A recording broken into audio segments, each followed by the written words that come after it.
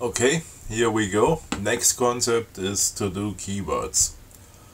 I have made a small brain dump, uh, just a few items that I consider this is my to-do list or, or the things I want to do. You see we start with GTD related things, it's a weekly review, it's legal obligations, what we have to do and so on. And okay, now we, we just have headlines and it would be nice to have uh, an idea is it to be done or, or is it a to-do item or is it a next to item or whatever. So at the default settings of uh, org mode you have just to do or done. And you can cycle through that with shift and cursor left or right. So if I press shift cursor right you see this one gets the to do keyword to do and I know this is an item I have to do. If I press shift uh, cursor right again it's marked as done and if I press it a third time it's uh, just again just a headline. But uh, you know from GTD uh, there are much more than just to do and done. It's waiting and someday or so, something like that. And of course we can customize org mode so that it implements it like that we can just add a line up here that starts with a hash sign for comment and then sequential to do and then I have some keywords. It's next to do waiting someday. What's there inside the brackets is uh, practically the key I need to press to address that. The important symbol is that pipe. Everything left of that symbol is considered as something to do and you will see it in red. And everything on the other side is considered as something that is already completed. So we have a done state when we really finish something but maybe sometimes you say okay I'm no longer interested in that topic so I put it to cancelled so this line is here. The next time you load this file I have made a file that's called mylife.org the next time you call this file this line will activate it uh, automatically.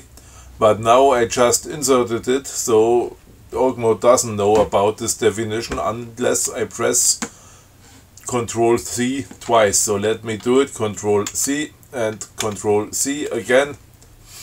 And now I hope that when I go here you see there is next. I was here I can cycle through it and now I have a next action that is no not this one this one this is my weekly review.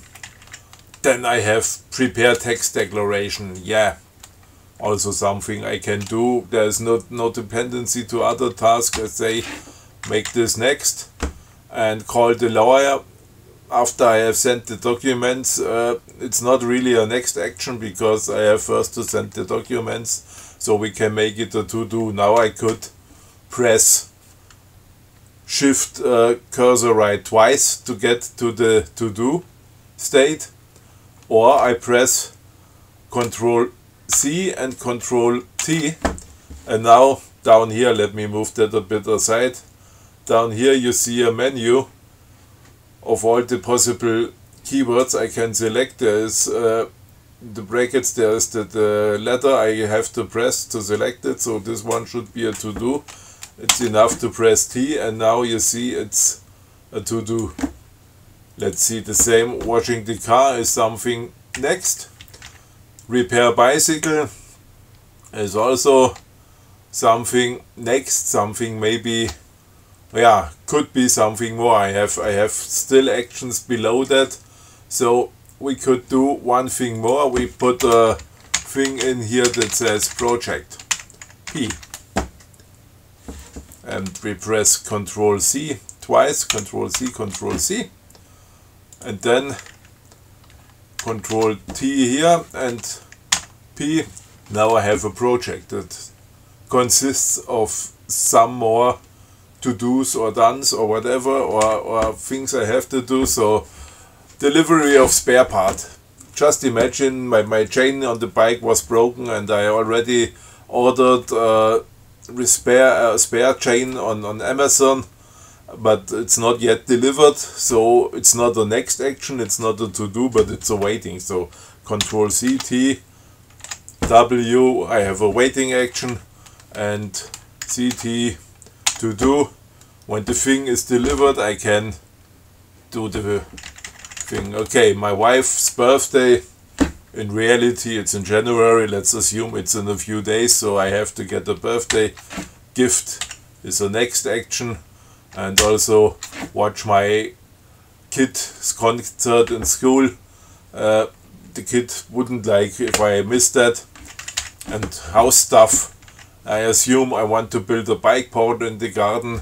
I have written a comment okay budget is 200 bucks for that but uh, it's something it's it's a, a vague idea. It's not uh, that I say okay I have a real plan how to do it. So at the moment I could just put this CTS as a someday.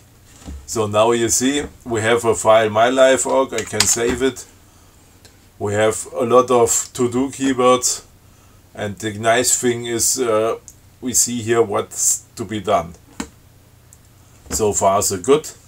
And in the next part we think about scheduling the actions